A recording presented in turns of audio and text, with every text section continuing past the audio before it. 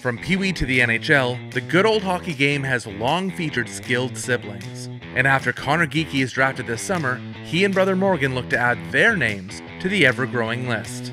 Obviously, we're pretty close. Uh, I wouldn't say we talk too much about hockey, but I mean, uh, you know, the friendly banter and even in the family group chat, the, the chirping and all that good stuff. So, uh, definitely very close with him.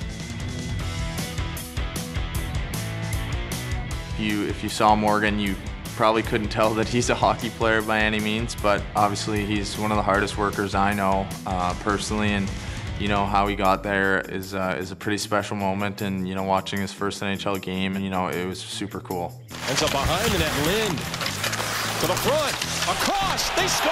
Geekie, wide open cage. You know, he scored in his first game in I think uh, four out of the five leagues that he's played in. So him scoring, it was a super special feeling, and uh, it was just kind of an emotional moment, but uh, super fun as well.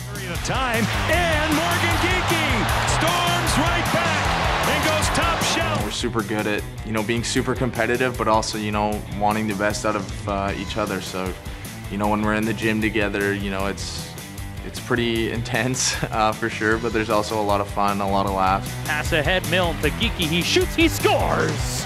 Here's Geekie with the top of the circle. His shot, he scores. Geekie in, scores. You know, Morgan has no problem being, uh, you know, pretty blunt with everything and being right to the point, and neither does Noah. You know, I go to them about anything, and I, I think they come to me about uh, most of their things too, but I think it's just we were kind of all close from the beginning, and I think we're a huge, very close family, and uh, you know, it's, it's definitely nice to have.